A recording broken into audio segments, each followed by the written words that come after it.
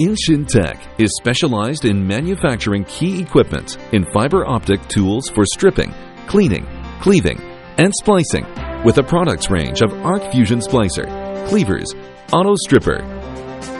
We will The fifth type is an ultrasonic cleaver. Ultrasonic cleaver cleaves the fiber with diamond blade and ultrasonic wave. It can cleave with clean and clear end face, minimized scratch, and 0.3 degree cleaved angle.